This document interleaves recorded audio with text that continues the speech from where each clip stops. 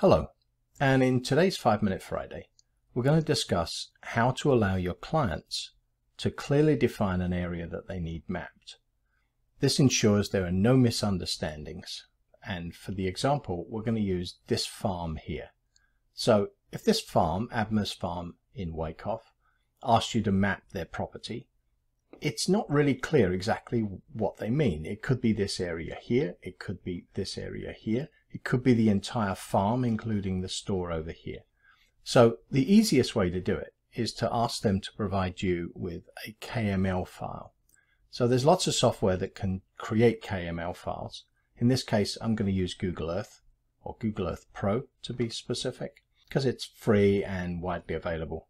You have your client go into Google Earth Pro and they click on this polygon button up here. A window is going to open and they can give this thing a, a name. But what you'll see is that when you're hovering over the, the map, you get this little crosshair thing. So let's assume they didn't actually want the stores and everything. They just want this area over here. So they would just literally click on the corners that they need mapped. Um, if they're slightly out of position, they can use the the finger icon to reposition. And once they're happy with it, they can say OK. Now you've got this thing over here in your places that's called farm. And it's quite simple. Right click on that and say save place as. Change it to KML and then click save. This is now available in my downloads folder and they can email this to you and you can import this into DroneLink and I'll show you how to do that now. Specifically, I'm going to cover two ways to import KML files.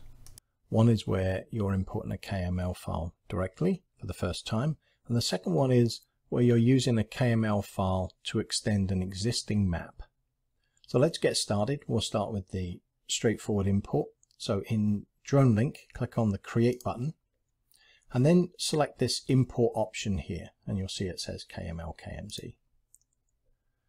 Uh, double click on the KML file and it'll give you an option and we want this to be imported as a map so we're going to leave that set as map and we're just going to say import.